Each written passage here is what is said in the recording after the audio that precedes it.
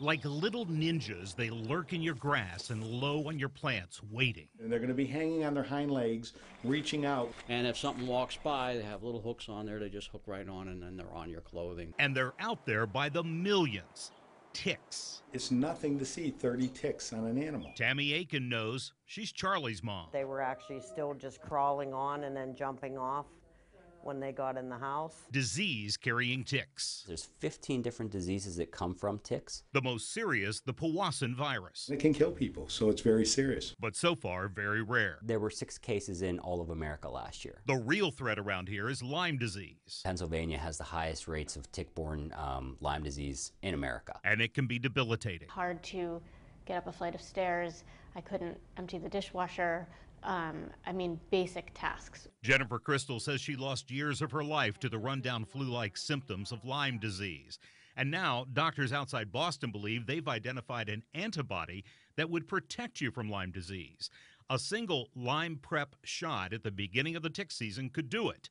Human trials are coming. We think that this is a really safe approach. Uh, in mice, it is incredibly effective, 100% effective. But back to the more immediate problem in your backyard. This is how most of us envision ticks, but that is an adult tick. And the disease carrying ticks out there right now are seed or nymph ticks, about the size of a grain of sand. Mother Nature's not playing fair here when she sends this thing out. You and I won't see those nymphs. This thing crawls up your leg. You're not going to feel it. They get up right in your behind your knee or up in your groin. You're not going to notice it. The good news is they can't infect you immediately. It takes about 48 hours of that tick being on you before it transmits the disease. So checking yourself and your pet and removing the little bloodsuckers very gently with tweezers is crucial.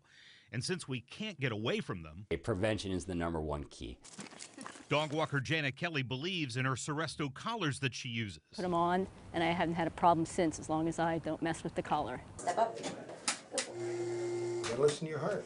Veterinarian Dr. Mike Hutchinson recommends a monthly oral chewable or a prescribed topical. Both will kill the tick rather than a repellent. If you repel them off the animal, where do they end up? On you and I. And to keep the ticks off in the first place, he suggests spraying you and your dog before you go for a walk with nine parts Listerine, one part water in a spray bottle. So fill it up nine tenths of the way with Listerine. Spray that over your dog's coat. When you go into the woods, they don't like alcohol. So they get on them, they, they're typically going to fall off while they're still out there. The internet is full of natural oil recipes to discourage the ticks from climbing on. Those products are effective, but convenience. You know, you want to, if you're going out the door, you want to take 20 minutes to mix up something versus grab a can, put it on there, and then you're you're out the door. Entomologist Bill Todaro with the Allegheny County Health Department says he trusts anything that contains DEET.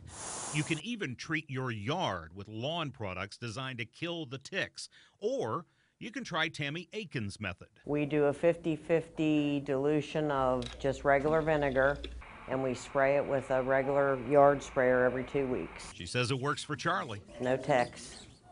No ticks on the dog, no ticks coming in on the dog.